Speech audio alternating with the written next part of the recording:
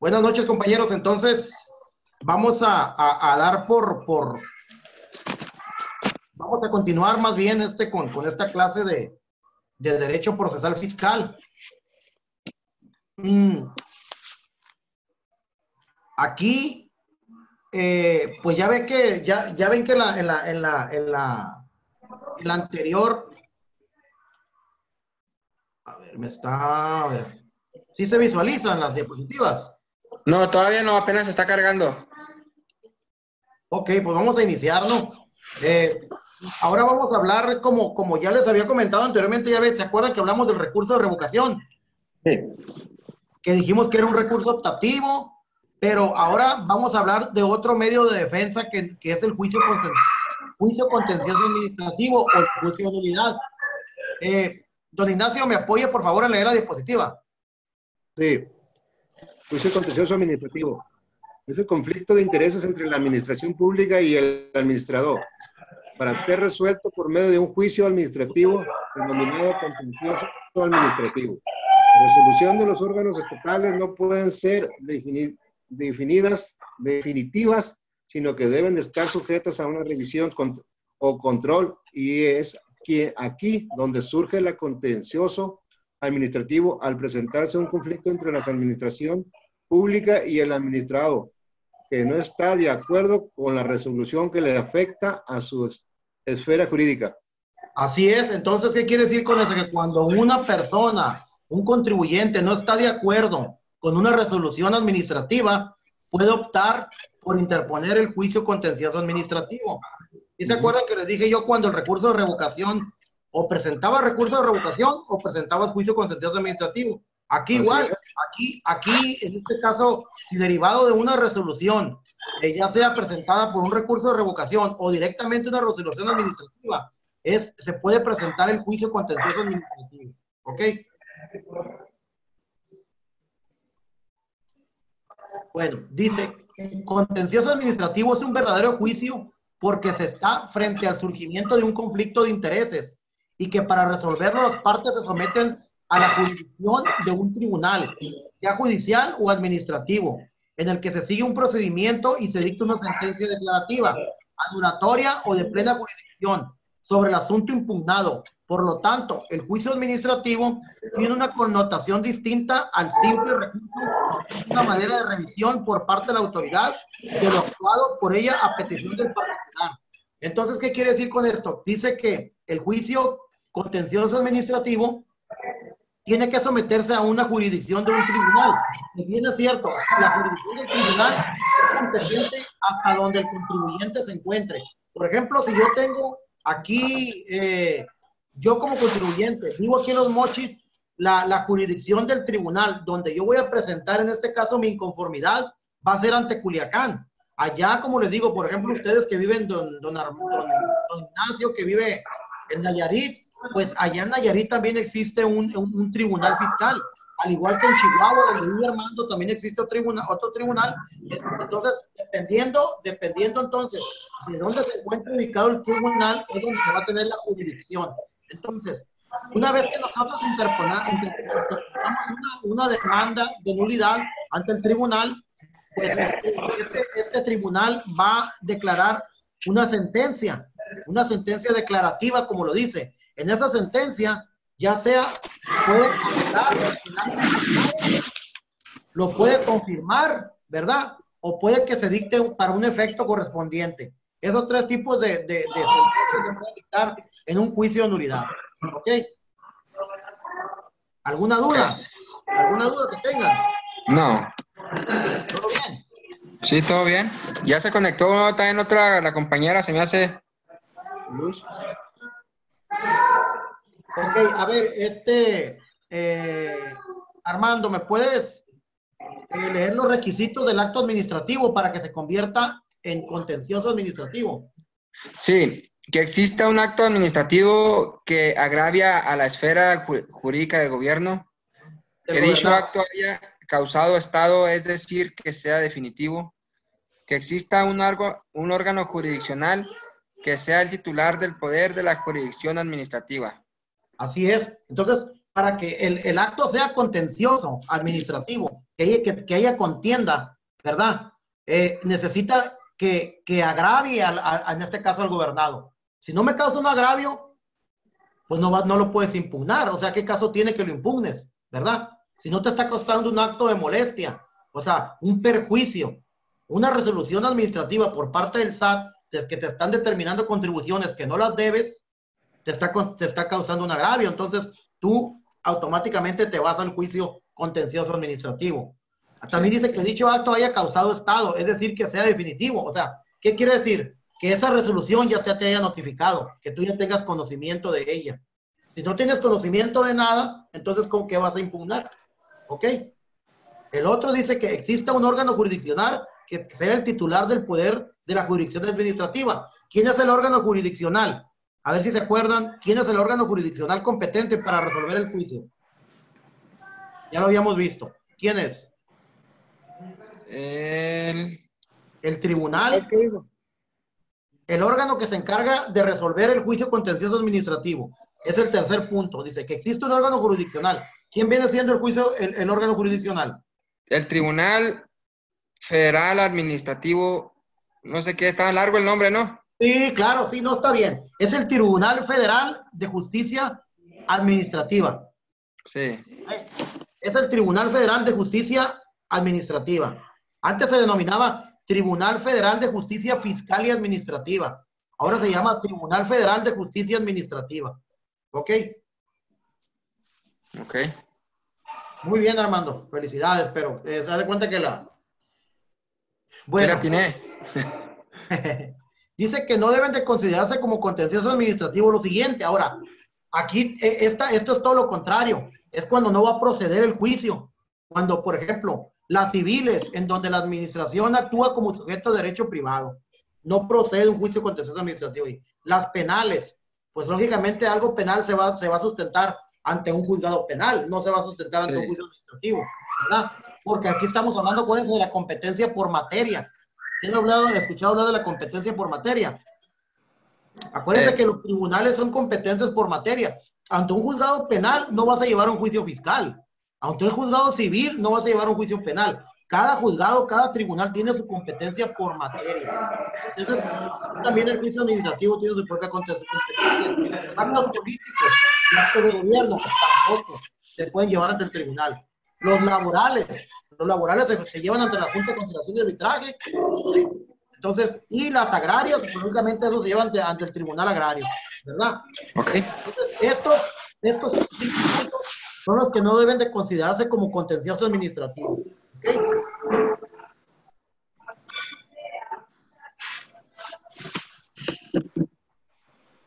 Don Armando, eh, ayúdame por favor a leer. Esto más que nada, yo lo hice para que ustedes conocieran de prácticamente poco de teoría, ¿no? Porque no me gusta a mí, yo de hecho desde que estaba en la universidad era enemigo de la teoría, pero sí es conveniente conocernos de dónde nació de dónde nació el juicio contencioso administrativo o los tribunales de lo contencioso administrativo, cómo se definieron en México. Entonces, don Armando, me apoya por favor a leer la diapositiva. Sí, creo que sí.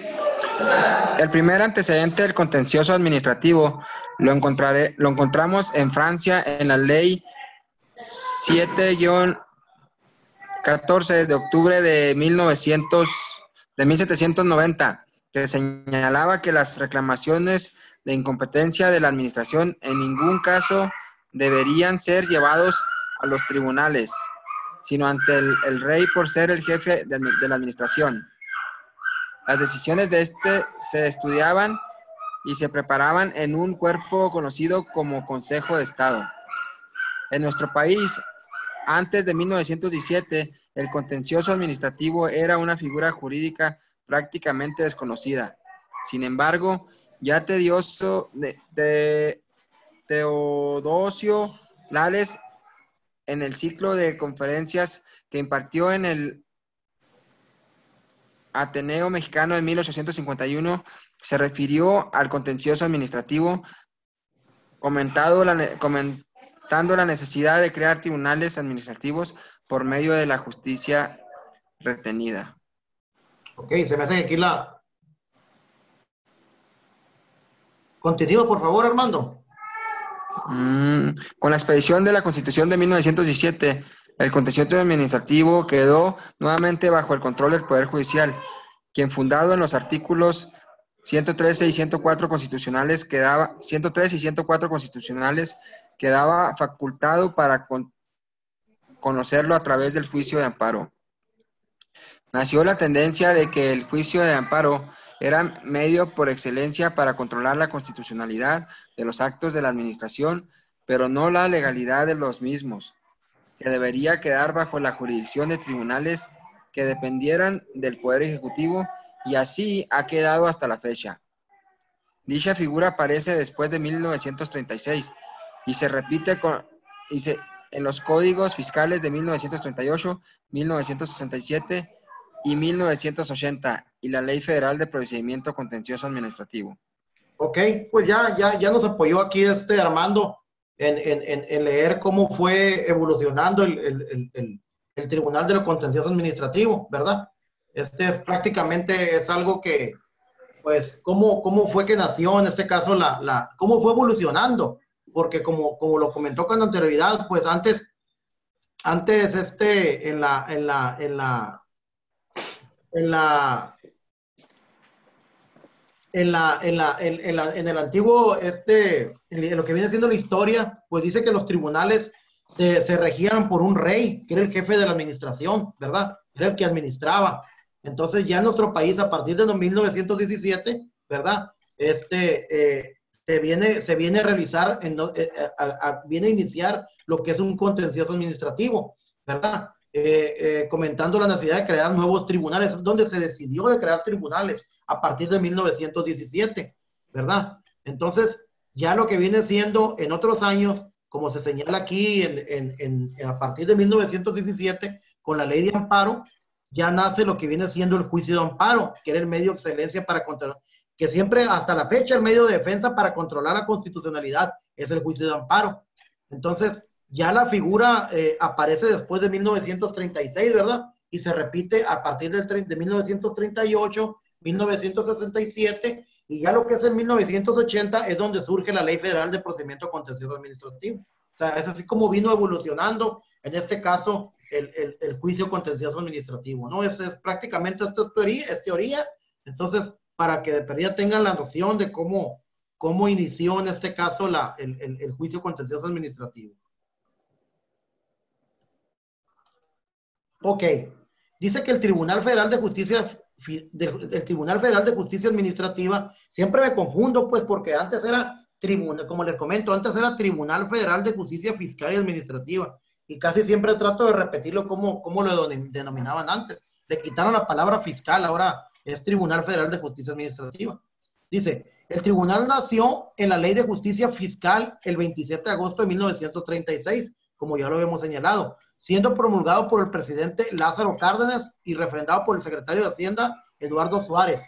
Su denominación de origen fue Tribunal Fiscal de la Federación. Antes así se denominaba, Tribunal Fiscal de la Federación. Su integración se conforma por una junta de gobierno y administración, una sala superior y un pleno. También se integra por una sección primera y una sección segunda, así como las salas regionales y metropolitanas. ¿Qué quiere decir con esto? Nos, ahí este, este diapositivo pues, nos habla de la estructura, ¿no? De cómo, cómo se integra un Tribunal Federal de Justicia Administrativa, que se junta por una, que se, que se integra por una junta de gobierno y administración, también se integra por una sala superior y pleno y por una sección primera y segunda, y las salas regionales y metropolitanas, o sea, pues lógicamente las salas metropolitanas se encuentran en las ciudades eh, donde hay más este, población, como puede ser la Ciudad de México, como puede ser Guadalajara, como puede ser Nuevo León, eh, Monterrey, que diga. Entonces, ya aquí en las ciudades, por ejemplo, donde habitamos nosotros, que no son metropolitanas, son salas regionales. Nosotros aquí en, en, en, el estado de Sinaloa contamos con la sala regional, está en Culiacán. Entonces, supongo yo que allá en Chihuahua, pues también se encuentra la sala regional en, la ciudad de Chihuahua.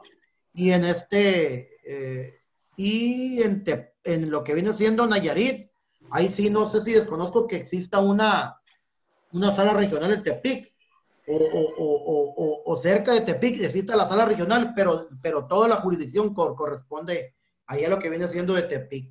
Ahí sí estoy un poquito en cuanto a la estructura, cómo está conformada, pero sí, este, así es como se maneja en este caso el tribunal, ¿no? O sea, eh, por, salas, por salas metropolitanas y en ciudades, grandes y a ciudades pequeñas por, por, por, por salas regionales, ¿no? ¿Tienen alguna duda? No.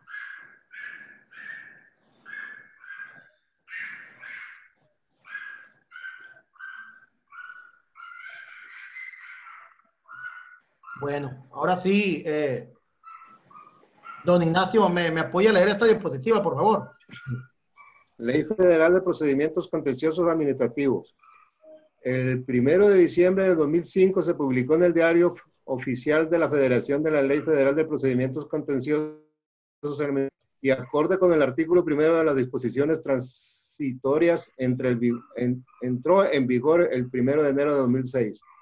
Procedencia del juicio. Procede en contra de las resoluciones definitivas fiscales y administrativas, o sea, aquellas que no admiten recurso administrativo o cuando su interposición sea optativa.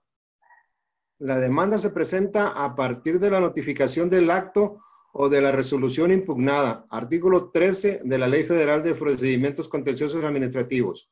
Ok, entonces ya ven que la diapositiva, como nos dice, ¿no? ¿Cuándo entró en vigor, la, en este caso, la Ley Federal de Procedimiento Contencioso Administrativo? O sea, se publicó el primero de diciembre del 2005, esta ley, o sea, fue cuando ya se publicó y entró en vigor a partir del día primero de enero del 2006, ¿ok?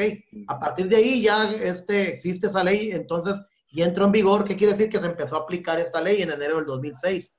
Ahora, en cuanto a la procedencia del juicio, ya lo señalamos con anterioridad, pues procede contra resoluciones definitivas y fiscales, o sea, ¿qué quiere decir? Que, era, que definitiva, ¿qué quiere decir? Que esa resolución ya te las tienes en este caso diciendo, ¿sabes qué? Notificando, aquí está esta resolución.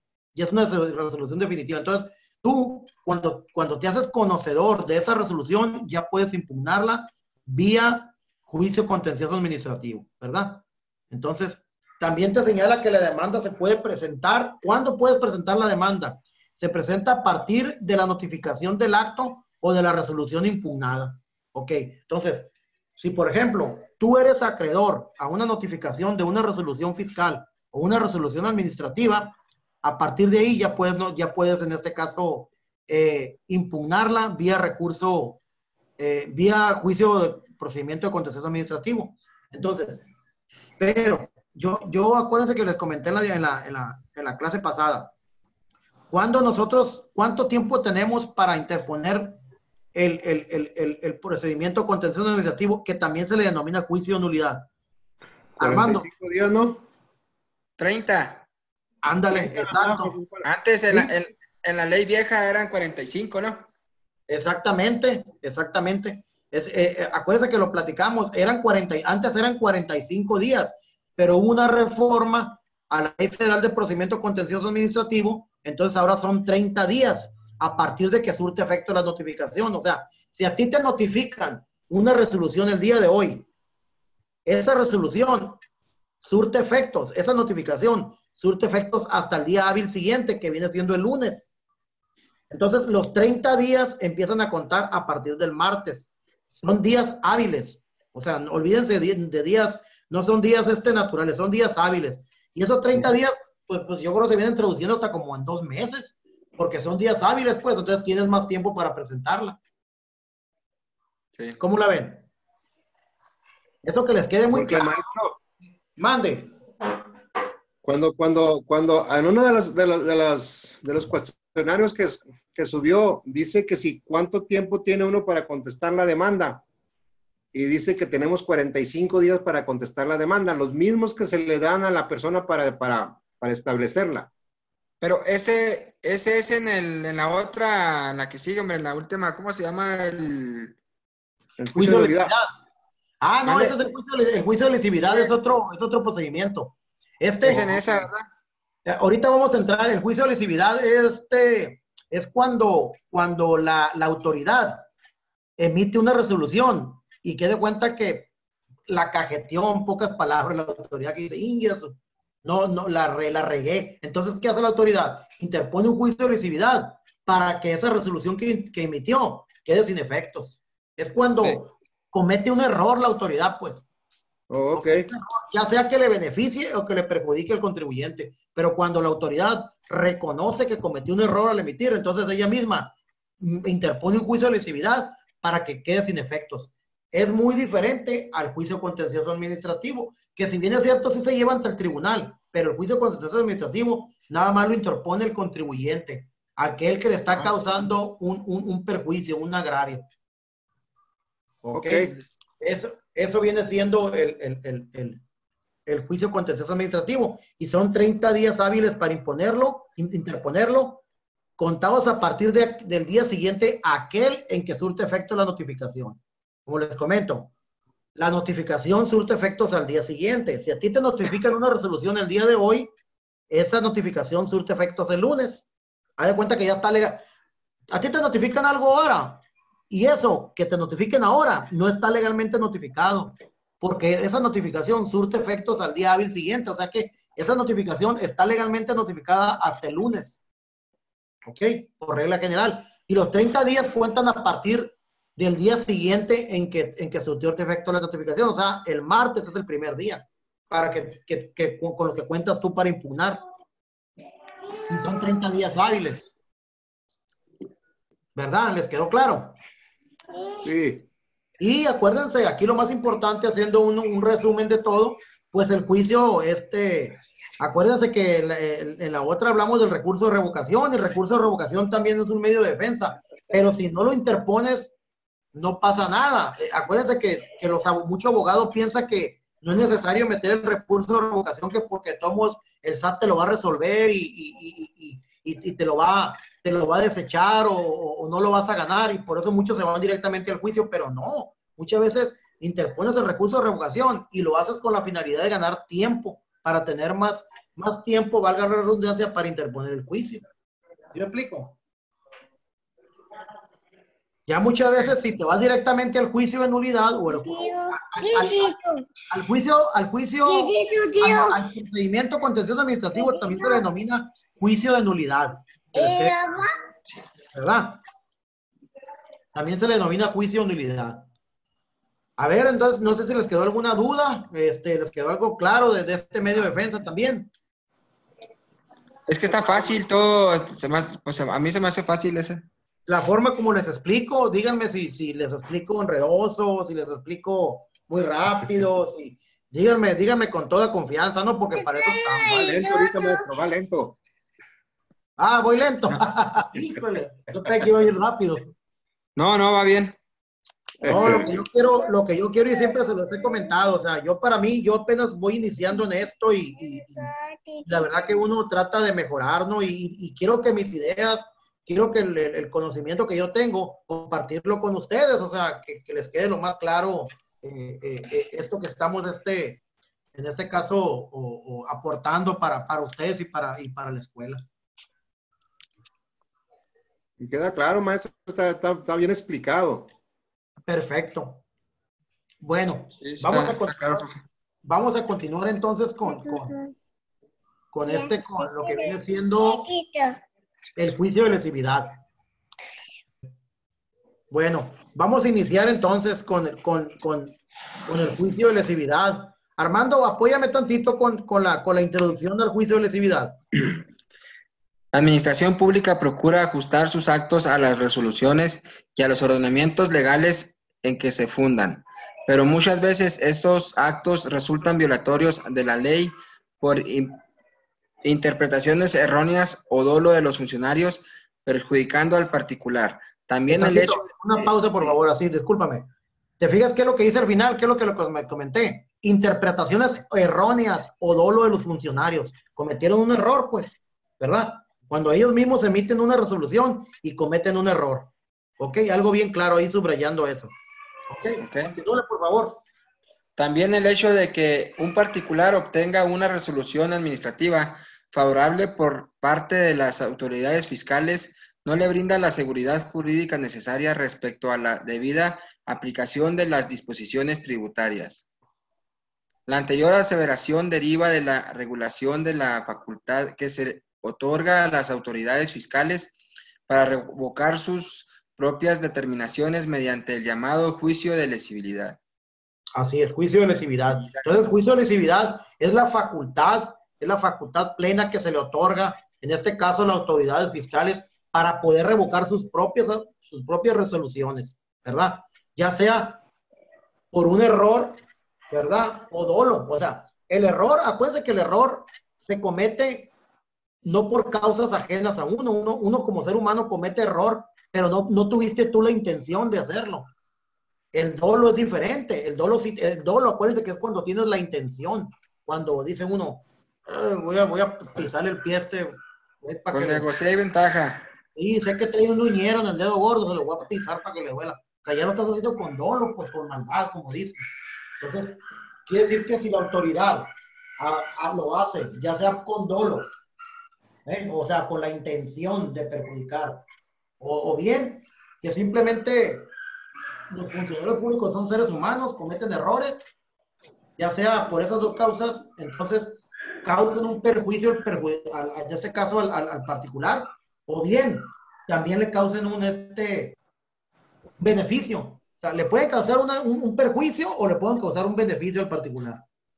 Pero aquí lo importante es que si la, si la, si la, si la emisión de la resolución encuadra en una interpretación errónea o de dolo, de dolo por parte de un funcionario, entonces ya tiene la, la, facultad, la autoridad para interponer un juicio de exclusividad, porque esa, esa resolución prácticamente no es procedente, porque también estás, si en caso de que le estás ocasionando un, un perjuicio al, al, al, contribuyente, pues no le estás dando ninguna seguridad jurídica. ¿eh? Acuérdense de las garantías de seguridad jurídica del gobernado. Un gobernado se supone que tiene que tener todos la impartición de la ley, la impartición de las disposiciones fiscales, como son. Esas son las garantías de seguridad jurídica, es la, es la garantía que me están dando a mí de que las leyes se me están aplicando tal y como deben de ser. ¿Eh? Esa es la garantía de seguridad jurídica. En cambio, profe. Si una resolución, si se emite una resolución que no viene en contra de las disposiciones fiscales, entonces está violentando la garantía de seguridad jurídica. Mande, Armando. Ahí el juicio de, lesividad, lesividad. Sí. O sea, la misma autoridad lo interpone, pero o sea, me imagino que un juez se equivoca, ¿no? ¿Y quién interpone ese juicio? ¿Otro juez? Pues aquí, aquí no estamos hablando de, de, de, de o sea, sí, o sea, el, el, SAT, por decir, ¿no? Me imagino. estamos eh, hablando de, resoluciones interpuestas por el mismo SAT. Sí, el SAT. Así es. Y entonces el mismo, o sea, pero tiene que haber una persona que hace, que emite esa ¿Quién lo interpone? ¿Quién lo interpone? Lo interpone, hay una, en, el SAT hay áreas. En el SAT está el área de servicios al contribuyente, está el área de auditoría fiscal, está el área de recaudación y está el área jurídica. Entonces, si auditoría fiscal, que son, que son, que, que es la autoridad que más emite resoluciones, que son los que te determinan impuestos, Sí. Comete un error o lo hace con dolo, hace cuenta que dice, no, hombre, yo Armando lo voy a porque me cae gordo, porque, o ya ves cómo también hay tráfico de influencias, que dicen, no, pues, fíjate, ¿sabes qué? Frígate ese contribuyente, emítele una resolución y cárgale muchos impuestos.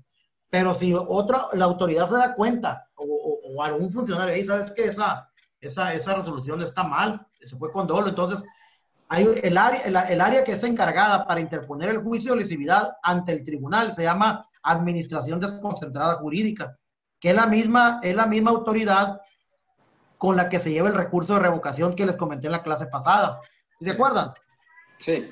Entonces, quien lo interpone es la Administración Desconcentrada Jurídica. Muy buena, muy buena pregunta tuya y la verdad que les deja más claro por conducto de quién. Si lo interpone el SAT, si lo interpone la, lo interpone la autoridad, pero ¿qué autoridad?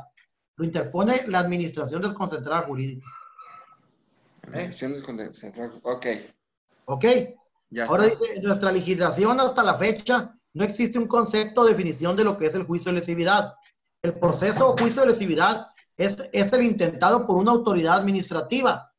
Es la Administración Desconcentrada Jurídica. Dentro del proceso contencioso administrativo, igual como, como señalamos antes, lo que viene siendo el juicio de nulidad ante, la, ante el mismo tribunal, con el fin de anular una resolución favorable a un gobernado que fue emitida por la autoridad en forma ilegal, causando una lesión al interés público o del fisco, ¿verdad? Entonces, puede causar una lesión ya sea al gobernado o puede causar una lesión al fisco. O sea, causa la lesión al gobernado si lo estás perjudicando y causa la lesión al fisco si al gobernado lo estás beneficiando, ¿verdad? Al fisco, si, si estás beneficiando al gobernado de manera indebida, le estás diciendo, ¿sabes qué? Te voy a pagar, te voy a, te voy a devolver de IVA dos millones de pesos. Pero sin, ¿qué tal si esos dos millones de pesos no le corresponden a la persona? O sea, no tiene derecho. Tiene derecho a que le pagues 500 mil, no dos millones. Ese millón y medio de diferencia es una lesión al fisco. Lo está lesionando, es un agravio al fisco. Un, o como le llaman también, perjuicio al fisco. ¿Y les quedó claro? Sí. Sí. Este, bueno, continuamos, continuamos con el, con el, con el este, con el juicio de lesividad. Acuérdense que aquí más que nada es, es, es, es, cuando es emitido por la autoridad y que lo hace de manera errónea, ¿no? De manera o, con dolo. Bueno. Eh, mm, Armando, ¿me apoyas por favor con, la definición y regulación del juicio de lesividad? Sí. El juicio de lesividad es el camino ideal para brindar seguridad jurídica a los particulares, pues de nada sirve la figura de la consulta fiscal si bajo cualquier argumento una misma autoridad puede dictar y revocar el contenido de una sentencia trayendo consecuencias económicas y representativas y represivas en contra del consultante. En nuestro sistema tributario, este juicio se encuentra reglado en el artículo 36 del Código Fiscal de la Federación. Ok, entonces cuando lo quieran analizar el artículo 36, pues ahí viene regulado lo que viene haciendo el, el juicio de lesividad, ¿no? Es este donde nos prácticamente nos, nos habla de, de, de este procedimiento. Aquí está, el artículo 36 del Código Fiscal de la Federación señala que las resoluciones administrativas de carácter individual favorables a un particular solo podrán ser notificadas por el Tribunal Federal de Justicia Administrativa mediante juicio iniciado por las autoridades fiscales. ¿Ok?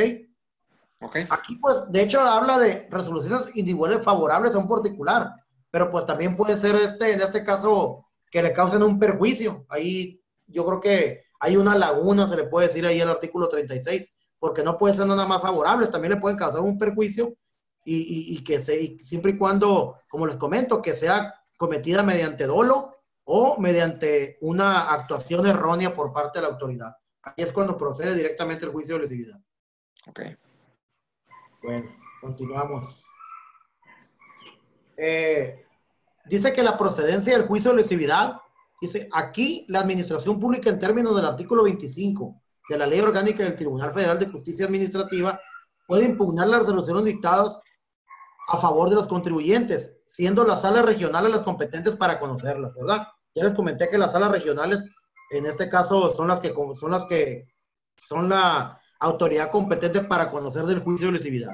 Las resoluciones cuya nulidad reclaman las autoridades ante el tribunal deben de reunir, reunir los cuatro primeras características que son, que sean definitivas y que no estén sujetas a revisión de oficio. ¿Ok? Que lesionen un interés o causen un agravio a la administración, o sea, en este caso al fisco. Que sean personales y concretas y que sean por escrito. ¿Ok? Y la otra dice que conceda beneficios a un particular o a una agrupación de manera indebida.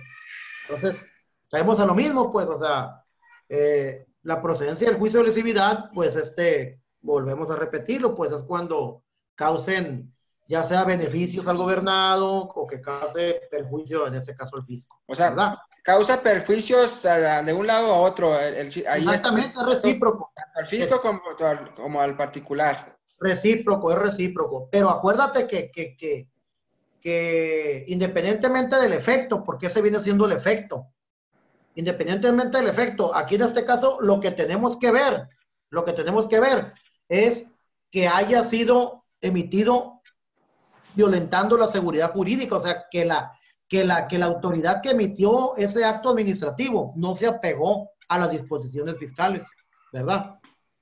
Ok. Entonces, este, ya sea que lo hizo por error o, lo hizo por dolo. O sea, es más cuenta que esa, que esa resolución le emitió la autoridad eh, incumpliendo la ley. Incumpliendo. Entonces, lógicamente, si incumples a la ley, o a alguien le vas a ocasionar un perjuicio, ya sea a la autoridad o ya sea al mismo contribuyente, ¿verdad? Profe, mande. Ya me tengo que retirar. Ya que le dije. ¿Qué te pareció la clase? ¿Mande? ¿Qué te pareció la clase? No, bien. Eh, de hecho, pues me parece bien. Ustedes saben que sí me gustan las clases porque explica bien y todo y se le entiende. Y es una, explica muy, este, sí, o sea, de una manera que, pues el vocabulario que le entendemos nosotros. Así es que así debe ser, que entiendan. Eh, es lo que yo me, me, interesa a mí que entiendan y ya saben, les vuelvo a recalcar, cualquier error que noten, soy un ser humano, cometo errores, cualquier inconsistencia en la forma de, de explicarles o, o, cualquier este, situación de las cuales ustedes no estén conformes, díganmelo la verdad y con, con, con gusto lo, lo, subsanamos o lo tratamos de, de corregir. No, no, de hecho está bien y, y, de hecho su, la materia está fácil, no está tan, no está complicada. Está, sí, trato, trato, de facilitarla, no crean, porque hay cosas muy, muy, muy, este, muy difíciles en, derecho oficial, es como todo, pero trato de facilitarles a ustedes la, el aprendizaje. Ok, no, gracias. ¿O quieren que la próxima me la miente difícil? No, no, no, no, pero, o sea, mejor no la llevamos, eh, mejor no la llevamos así calmadito, calmadito. No, no, calmado, ¿para qué no nos aceleramos? ¿Para qué, ¿para qué, tanta, ¿para qué tanta agresividad? ¿no? Sí. No, entonces, este, a ver, este, gracias, profe, ahí, ahí estamos en contacto, ahí le, ahí le he hecho un fonazo y... Cualquier cosa, ya sabes, estoy a la orden para atenderte, este, mmm, de hecho ya vamos a concluir, ya me quedan como unas tres diapositivas, cuatro nada más. Ok. Este, muchas gracias, buenas noches y ahí, ahí, don Ignacio, Luz, buenas noches, que... Vale, porque le va bien. Nos vemos. Gracias. Saludos, Armando, saludos. Hasta luego. Ay. Bueno, ahora para continuamos nosotros, ¿no? Aquí con lo que viene siendo las partes y plazo en el juicio de lesividad. Eh, don Ignacio, apóyeme por favor para leer la diapositiva. Ahora sí entre usted y yo, porque esta muchachita luz. La lesividad. Las partes son las mismas que cuando el particular promueve, con la salvedad de que la parte actora es la administración y el demandado es el particular, beneficiado con la resolución impugnada. Las autoridades, las autoridades tienen un plazo de cinco años para presentar la demanda siguiente a la fecha en que se emita la resolución. Sí, ese es bastante el plazo, ya se dio cuenta de cinco años para interponerlo. Aquí están hablando en el caso de que, que el particular sea el beneficiado, ¿verdad? Aquí, pues existen las dos partes. Viene siendo la parte actora, pues en este caso sí, aquí la autoridad, porque es la que interpone el juicio, ¿verdad? Y el demandado, pues es el particular, siempre y cuando se dé el caso en que el particular fue el beneficiado con la resolución, ¿verdad? Si un particular es beneficiado con una resolución, dice la autoridad, epa, entonces, esta resolución no te corresponde a ti, este, no, no, no, no, no, no es este, emitida conforme a derecho, entonces lo que, yo, lo que yo procedo a hacer es interponer el juicio de lesividad. Entonces, continuamos. La conformación y la contestación de la demanda, igual que la demanda ordinaria, que, su confirmación contiene los mismos apartados debiendo presentar ante la sala regional competente, ¿verdad? pues, ¿cómo podemos saber? No sé si nunca ustedes han tenido conocimiento o han observado una estructura de una demanda, pues, primeramente se señala eh, el nombre de la persona, quién está demandando, que señala el domicilio para ir recibir notificaciones, a quién autoriza, en este caso, para, para defenderlo en el juicio. Entonces, este ya vienen los hechos. Al final, eh, eh, ya posteriormente los hechos vienen los agravios, las autoridades demandadas. Son diversos, en este caso, datos, ¿no? Que son este, eh, eh, indispensables para la demanda. Ahora señala que el contribuyente tiene un plazo de 45 días hábiles siguientes a aquel en que surte efectos el emplazamiento. Si este último se encuentra en el extranjero, el Código Fiscal de Procedimientos Civiles señala que se ampliará prudente el término del emplazamiento. Lógicamente, si, si vive en el extranjero por la distancia, entonces eh, la legislación le, le, le, da esa facilidad, en este caso, al contribuyente para dar la contestación, ¿verdad? dice que debe de referirse a todos los hechos que le sean imputados, pudiendo estos ser aceptados por ser ciertos, negados, abstenerse por no ser propios o dar una versión de cómo ocurrieron. También demostrar que los conceptos de su, en su contra son infundados, cuando no le asiste la razón al demandante, son insuficientes o cuando no se logra desvirtuar en su totalidad la fundamentación y motivación. Esto, como le digo, esta diapositiva prácticamente nos está hablando de la contestación de la demanda, ¿verdad? En este caso, el contribuyente, ¿qué, qué, qué requisitos o qué elementos son los que debe de utilizar para dar contestación a la demanda? ¿Ok? ¿Les quedó claro? Sí. Bueno. Pues ya para finalizar, para finalizar en este caso la, la, la, la, la clase, ya pues este, mm, traté como, como les comento, de hacerlo lo más reducido eh, eh, posible. Eh, ya hablando en términos de la sentencia, dice que la sentencia que, dicte, que se dicte por la sala regional es declarativa y puede ser impugnada por el demandado. O sea, igual, no por simplemente el hecho de que, de que, de que la administración o la autoridad interponga un juicio de lesividad, ya va, quiere decir que ya va a ganar, ¿no? El demandado todavía si está inconforme, lo puede impugnar. ¿eh? ¿Y cómo lo va a impugnar esa resolución? Aquí está muy clara, va a ser por la vía del amparo directo, ¿verdad? En este caso, si el, si si el, si el demandado es el que está inconforme con esa resolución, con esa sentencia emitida dentro del juicio de lesividad, debe de interponerla mediante amparo directo. Pero si es la actora o, o bien es la autoridad, debe ser mediante un recurso de revisión esos dos, esos dos procedimientos se van a llevar ante un tribunal colegiado de circuito, ¿verdad? ¿Han oído hablar de los tribunales colegiados de circuito? Yo sí, es como la Suprema Corte, ¿no? Cuando ya vas al amparo. no, pues aquí la, la, Suprema Corte pues es la, es la autoridad suprema, ¿no? Es, es como la palabra lo dice. Los tribunales colegiados de circuito sí pertenecen al Poder Judicial de la Federación. Entonces, si nos hablamos en términos estructurales, la autoridad máxima del Poder Judicial de la Federación es la Suprema Corte de Justicia de la Nación. Y ahí le vienen ya los tribunales, si nos vamos hacia abajo, ya vienen los tribunales colegiados de circuito, ¿verdad? Y de abajo de los tribunales colegiados de circuito vienen las, las, creo que son las salas regionales. Y abajo de las salas regionales ya vienen los juzgados de distrito, que son los juzgados federales, ¿verdad?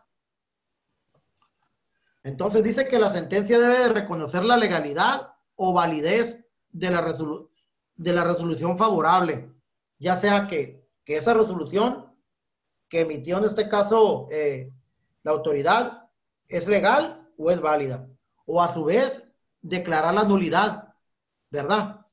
¿Qué quiere decir? Que esa resolución, si es, si es procedente el juicio de lucididad, va a declarar la nulidad. O sea, esa, esa resolución, al declarar la nulidad, quiere decir que ya, como la palabra lo, dice, esa resolución va a ser nula, no va a tener ningún efecto ya, ¿verdad? Porque ya, ya sea porque le haya causado un, perjuicio al contribuyente o bien un perjuicio al fisco, o similar, un beneficio al contribuyente o un beneficio al fisco. Eh, según las causales previstas en el artículo 51 de la Ley Federal de Procedimiento Contencioso Administrativo, ¿verdad?